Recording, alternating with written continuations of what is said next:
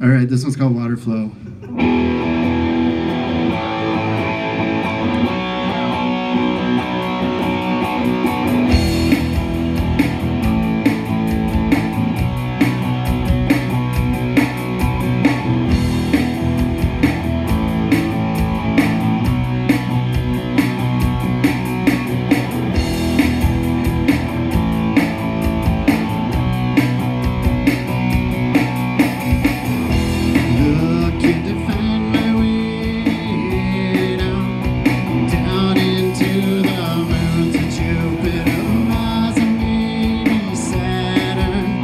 you